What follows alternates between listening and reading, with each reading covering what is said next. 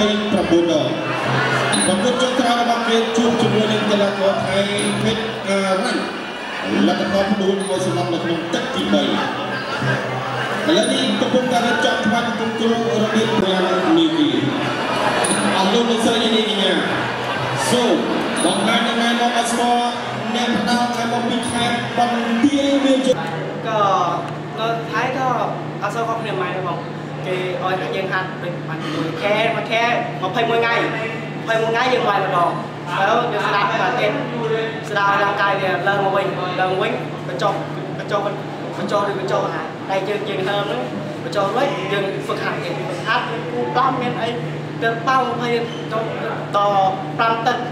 7ទឹកអញ្ចឹងបងទឹកខ្នើយទឹកអីហ្នឹងបងដូចដូចគ្នាបង ដូចគ្នាខ្លាំងហេបហេបគ្នាបងខ្ញុំអឺបើនៅស្រុកគេអត់អីទេបងវាយ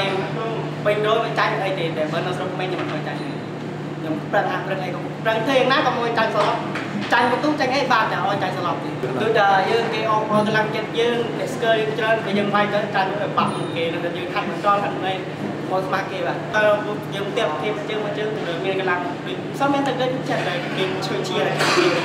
តែក៏ខំប្រឹងវាយបើនៅស្រុកខ្មែរមានគេលើកចិត្តច្រើនកន្លងពេញពេញ100ខ្ញុំខំប្រឹងមកសំថ្ងៃខំប្រឹងឲ្យទៅពួកនេះបាទ